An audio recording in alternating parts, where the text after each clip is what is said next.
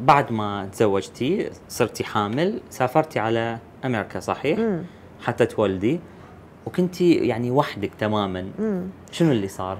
هلأ صراحة أنا وقتها آه، زوجي ما قدر يطلع معي وماما كانت مرضانة فأنا آه، أخو بابا اللي هو عمي. مرت عمي عايشين بأمريكا هو دكتور فطلعت لعندهم فطبعا هن كتير حدا مضيافين وكتير آه، طبعا آه، عمي نضال من أهم دكاترة يعني بأمريكا. ف فطلعت لعندهم. بس أنا بالنسبة إلي يعني كانت تجربة شوي صعبة لأنه أنا ما كنت بعرف أبدا أتعامل مع الأولاد.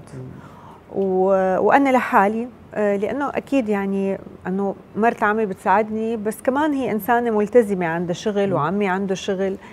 آه، فانا لقيت حالي قدام مسؤولية أول مرة بحياتي يعني إنه. بيبي إنه شو بدي. أعمل فيه؟ يعني الصراحة يعني مثلا آه، ما كانت مثلا بنتي ما كانت تنام منيح آه، ما بعرف كيف إنه تاكل. الطعمية صح يعني.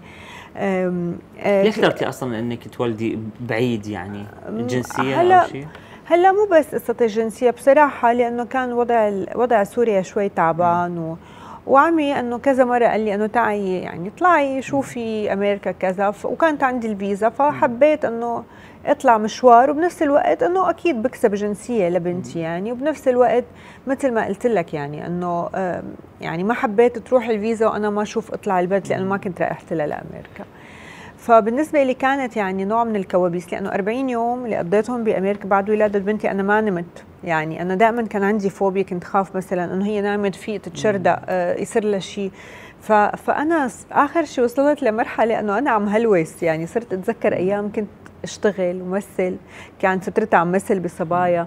إنه دائما كنت عاملة شعري مكياجة مرتاحة. اطلع على بنتي وأقول يا ربي أنا أنا شو بدي أعمل بهالكائن؟ ورطني فكانت مرحلة صعبة صراحة الأمومة وخاصة آه، يعني أول فترة هي لتتاقلم لانت تفهم إنه في عندك كا- اكتئاب ما بعد الولادة إيه طبعا أكيد. مم. إيه عانيت كثير من الاكتئاب لأنه كان ظرفي شوي صعب. يعني أنا رجعت على آه لبنان كان عنا تصوير صبايا. أنا صورت بعد 40 يوم من ولادتي. غير موضوع ال side effect اللي صار معي بعد الولادة صار عندي آه تورم بجسمي يعني من ال- الإبرة ال epidural.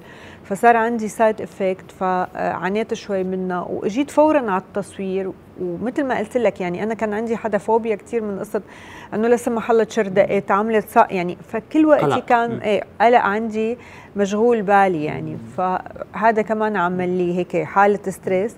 بالإضافة إنه نحن جينا قعدنا بلبنان مش رجعنا على سوريا. فكانت شوي كل شيء جديد على حياتي يعني حالة جديدة يعني وهيك كلها مع بعض إجت. طيب جيني آه يعني حسيتي بمطارح إنه قصرتي مع بنتك إنه الشغل أخذك عنها؟ آه هي طبعا معروف إنه والدتك آه هي اللي ربتها أكثر فحسيتي بهذا التقصير تجاهها؟ هلأ آه يعني أكيد أنا قصرت كتواجدي معي يعني أكيد أنا بتمنى أكون موجودة معي مع كل الوقت وأكيد أنا بحب قدر الإمكان انه اعطيها من من وقتي اعطيها من آه، يعني من اهتمامي. فيها أهتم أكثر فيها بمعنى دراستها تابع أكثر آه، بس بنفس الوقت أنا الأم والأب بنفس الوقت. فأنا يعني إذا اشتغلت وسافرت فبالنهاية أنا عم سافر كرمالها يعني. ف آه، وعم حاول قدر الإمكان إنه بقدر أعوضها مثلا بدراستها يكون عندها أساتذة مناح مدرسة منيحة. دائما أنا يعني هي محاوطة من الناس اللي بيحبوها إن كان من بابا بابا يعني كثير بيحبها آه، من صديقتي اللي كمان هي بالنسبة لها مثل خالتها يعني هي عاتبتك يوم من الأيام آم. لأنه هسه هي فاهمه وعاقلة نوعا ما آه، يعني مش إنه عتاب بس هي أكيد بتزعل يعني. دائما عندنا حالات هيك زعل وبكي يعني. وبكي و- وعندها دائما هيك يعني تعلق فيني كثير. يعني مثلا إذا أنا موجودة جنبها فأنا لازم ضل جنبها 24 ساعة آه. يعني مم. ممنوع ماما إذا هي موجودة معي فإنه تروح مع رفقاتها آه، تطلع تجي لازم تكون يعني خلص معلقة فيني يعني